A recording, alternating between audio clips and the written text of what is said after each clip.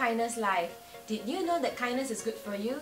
Studies have shown that kindness leads to happiness and happiness in turn leads to spontaneous kind acts and it goes back in a positive feedback loop.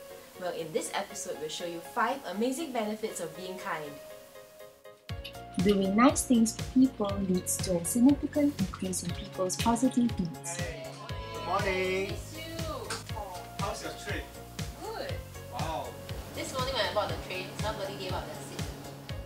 Kindness and graciousness are deeply rooted at home. Just talking about acts of kindness around the dinner table makes kindness come alive. Are you pregnant? Do you need a seat?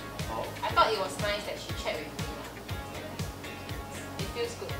But at least there are kind people around us. Being kind lifts you up both mentally and physically. When you do an act of kindness, our body releases feel good chemicals.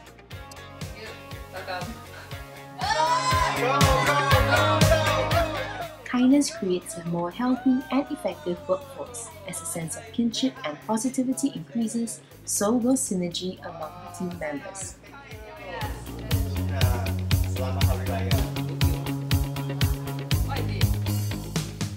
Graciousness is intrinsically others-centric. Through each gracious exchange, we inject positivity into another person's life.